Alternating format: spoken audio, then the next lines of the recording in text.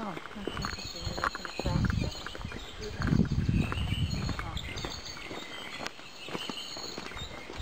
you this place in Costa Rica where you were looking on the, down on the top of the trees.